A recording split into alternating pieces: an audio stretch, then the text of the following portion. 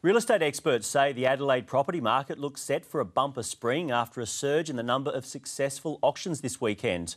More than 80% of homes going under the hammer sold as buyers look, took advantage of record low interest rates combined with a bit of luck. Shaking off the midwinter blues. And gone. Congratulations and well bought that. Adelaide's real estate market is heating up.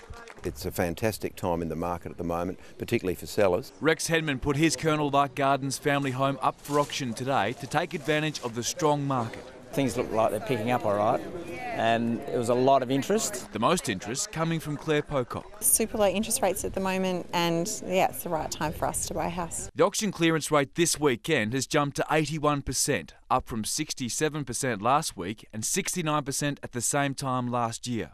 We're moving into spring now, and I guess with the low interest rates we've had, all is starting to look a lot more positive for the uh, market. The clearance rate was also driven by Chinese investors who view buying on the eighth day of the eighth month as lucky.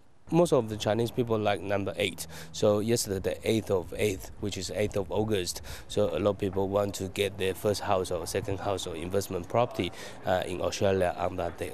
All boding well for a blockbuster spring. There's a lot going on in Adelaide, and uh, if, if the location is right and the right suburb, then yeah. We're getting a lot of demand in the market now. We find that properties, if they're priced properly, they'll sell extremely well and extremely quickly. Harvey Biggs, Nine News.